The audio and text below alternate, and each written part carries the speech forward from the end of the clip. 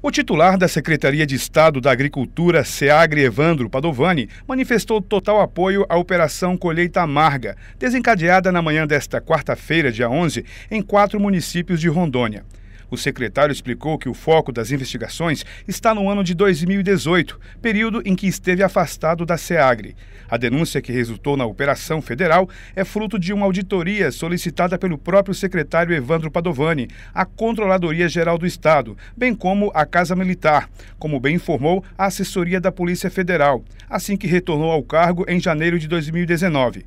De acordo com Padovani, a solicitação de auditoria é datada de 9 de janeiro de 2019 2019, assim que ele teria retornado ao cargo, ainda durante a fase de transição do governo.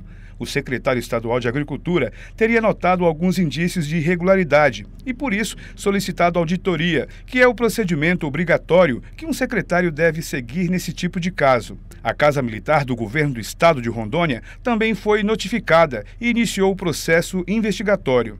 O secretário de Agricultura comentou ainda que, após detectadas essas irregularidades, intensificou a fiscalização das atividades em campo.